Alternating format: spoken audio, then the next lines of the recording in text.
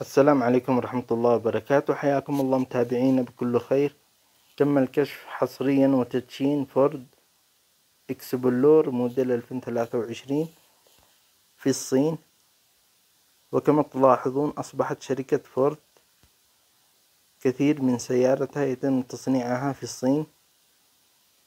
من بينها فورد توروس موديل ألفين واثنين وعشرين وفورد إفرست وفورد إكسبلور.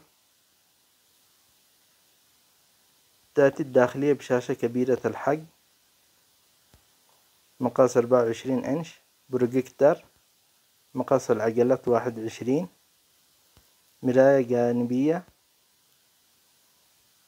أعطونا رأيكم حول التصميم الجديد لفورد. إكسبلور أو الفيس ليفت الذي تم عليه.